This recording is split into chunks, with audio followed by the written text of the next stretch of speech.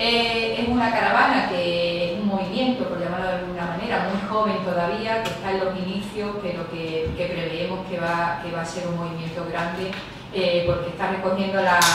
el grito y la voz y las voces de, de la solidaridad de, de mucha gente. Una Europa que, que, está cerrando fronteras a personas que están, que están huyendo del hambre y de la guerra. Recordar que, que antes de entrar a la, eh, las instituciones venimos, venimos de una lucha que, que ya aquí en Málaga, como, por ejemplo el Centro de Internamiento de Extranjeros de Málaga, que afortunadamente conseguimos, conseguimos que se cerrara, en realidad es como encontrarnos con un chico de Senegal que, que, había llegado de una patera hacía tres meses y todavía no había tenido la oportunidad ni de avisar a su familia de que había llegado vivo, vivo a España. Eh, bueno, pues todo esto eh, se ubica en una situación de excepcionalidad como en muchos aspectos de la ciudad de Melilla, por ejemplo todo lo que tiene que ver con ese comercio en la frontera, en el cual pudimos observar, a pesar de que la policía nos impidió llegar y el paso hacia, hacia la zona puramente fronteriza y a la zona donde cargaban y descargaban los bultos,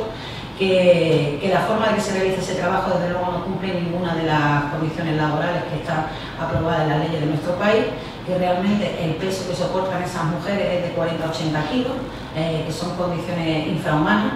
Eh, otro de los aspectos que pudimos visibilizar también es cómo la mayoría de estos trabajadores transfronterizos son personas que proceden de la región del RIF, y como sabemos ahora es una situación muy vulnerable porque están recibiendo una gran represión por el gobierno de Marruecos y así ha ocurrido en las últimas manifestaciones que se han producido en Alucema. Allí mismo pues, vimos a jóvenes que, denunciaban las situaciones de tortura y, y, malos tratos que habían recibido y que por supuesto pedían eh, al gobierno español y a toda Europa que no permitiese esa, esas actuaciones tan, tan violentas sobre la población civil.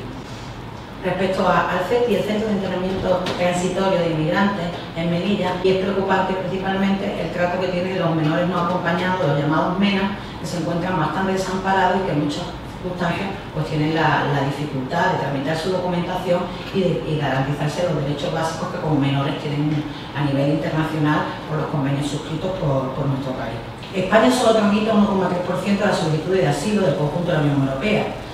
y la Comisión de Ayuda Española de Ayuda Refugiados ha denunciado que hay más de 20.000 peticiones sin resolver.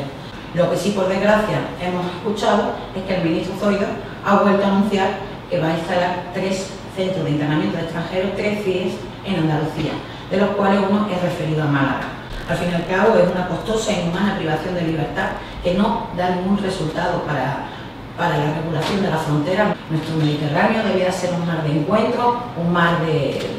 de conciliación, de cultura y de, como lo ha sido, es la cuna de la civilización el Mediterráneo es donde se dieron origen las culturas más antiguas, donde consistieron y convivieron y actualmente se ha convertido en una fosa común para miles de personas. Eh, estas situaciones van a, volver, van a continuar mientras estos países sufran eh, las condiciones de guerra, las, las diferencias eh, externas que están sufriendo y por supuesto pues unas políticas de cooperación que han sido mermadas en los últimos años bestialmente y que no van a poder permitir un desarrollo y, un, y unos gobiernos democráticos si no hay una intención política decidida a dejar de intervenir, a dejar de negociar con los recursos naturales de otros países. Y las personas cogen los barcos con sus hijos a pesar de que pueden perder su vida. Y eso no lo va a parar nadie